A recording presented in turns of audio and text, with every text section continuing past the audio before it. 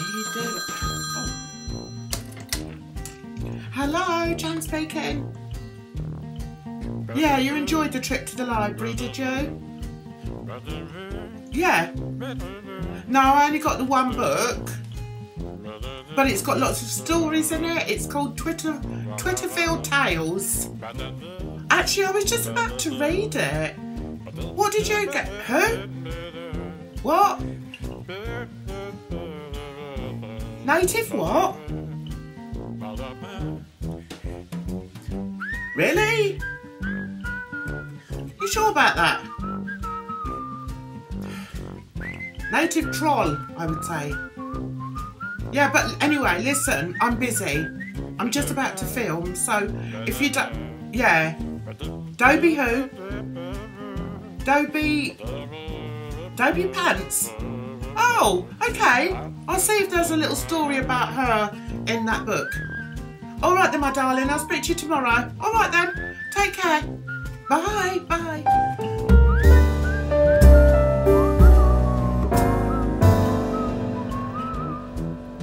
Hello, my lovelies. Welcome to Jan's Reviews. Today we've got another story time because I went to the library. I got myself another book. It looks very similar to the other one, but this one I like because there's many stories in it. So the one I'm going to read tonight is called The Troll Who Couldn't Take a Compliment. So, shall we begin? Twitterville has a population of millions. The size of Russia, it is vast, but that's where the similarity ends. With a Mediterranean climate, it has become a sought after destination for people to visit. Some even set up home permanently. Its charms include a fantastic a fantastic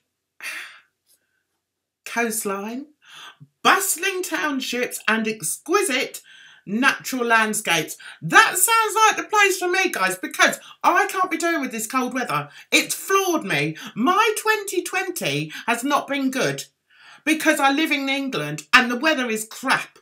Anyway, back to the story. Dobie Pants lived down. I'll be able to read this in a minute, guys. Just bear with me. We'll get it together. Dobie Pants lived in an unfavourable township called Trollton, which had an increasing amount of undesirables living in close proximity to each other. Its hostile environment facilitated an atmosphere of meanness and malice, and the residents were feared. Feared they were throughout Twitterville. Dobie's days were spent at her computer. She hated living in Trollton and dreamt of someday moving to a more pleasant area in Twitterville. She didn't see herself as a troll. In her deluded mind, she was a successful YouTuber. Yeah. With 6,000 subs, she felt that she had a decent following and tried extremely hard to establish herself with various content topics, such as playing Minecraft. My son used to play Minecraft, but he's outgrown it now. Anyway, that's by the by. Speaking on other creators, showing off her new car, making herself into memes. Why would you do that? What is a meme anyway? I like GIFs. I use those a lot on Twitter. Anyway, I'm rambling, sorry. Muck banging. Oh, God. Don't you hate that? Oh, anyway. And shopping hauls. Also, she liked reading her hate comment. Well, that must have been like a two-hour blooming video. That's all I can say. I'm digressing. Get back to the story, Jan. And makeup tutorials. However, her lack of views began to depress Dobie. So she turned to Twitter as a place to vent her anger and hostility to anyone who cared to watch or read her tweets. Her, uh, her obnoxious, what's that word? Videoed.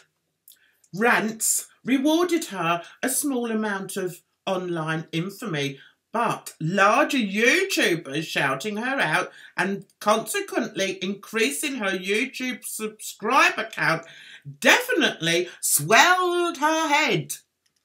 And it wasn't long before she envisaged stardom. She thought she was going to the top. Anyway, she became insufferable and confrontational, constantly injecting herself into scandals that didn't involve her.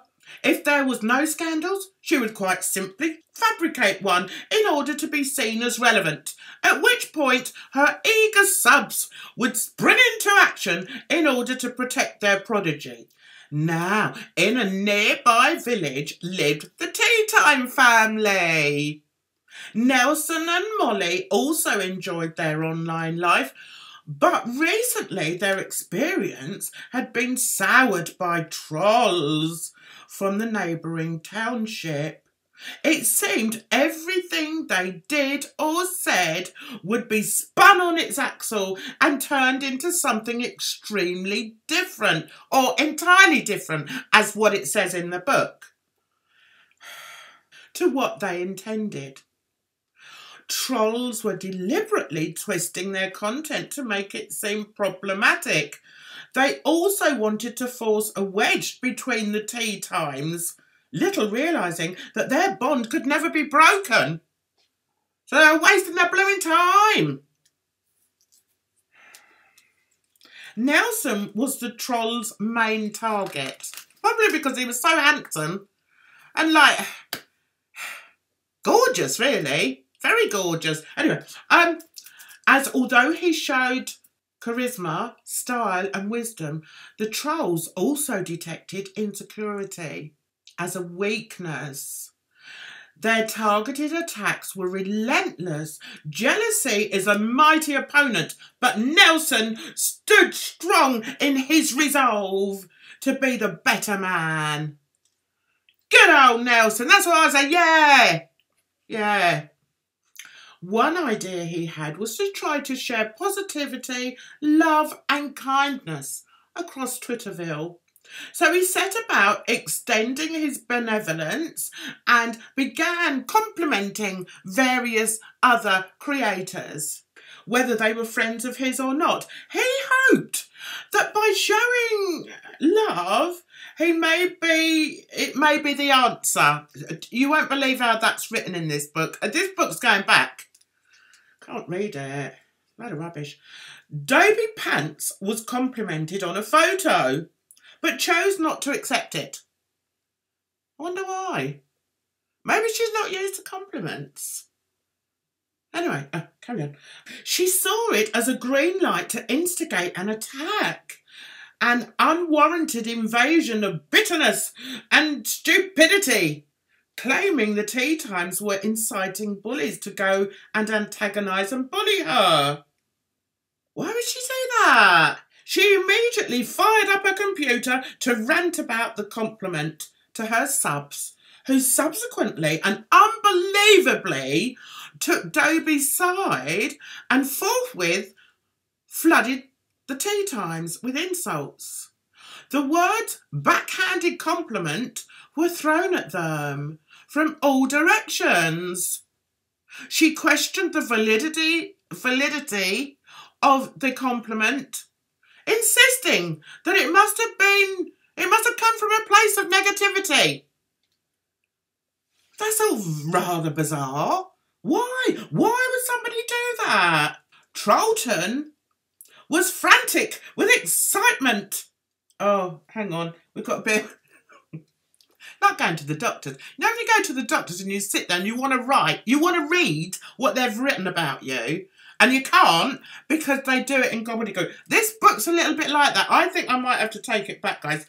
Um, right, let, let me just concentrate here. Trollton was frantic with excitement. uh, the scenario was exactly what the trolls enjoyed.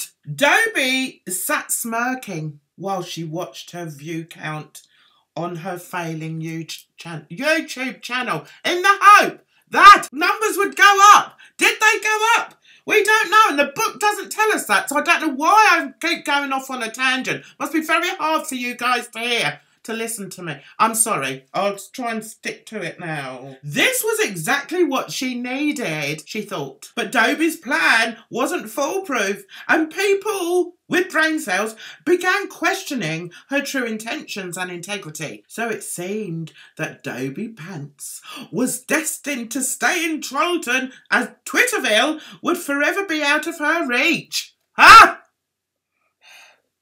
Her underhandedness and blatant attention seeking ways was seen as glaringly shameless. Her inability to accept a compliment was seen as manipulative and ultimately cemented her future in Trollton. Well, there you go. Serves a bloody right. Her days would be spent gazing out across the dark blue waters off the coast of Trollville, watching the mesmerizing movements of the sea lions. There were many sea lions in that sea in Trollville, don't you know? Many, many, many, many. And the tea times? They continued to flourish and learnt to back trolls away like an unwanted pest away, you blooming troll! right. Um, their integrity was never really challenged. Well, I do you know what, guys? I really like that. I think, oh, oh, looks like there is another chapter coming.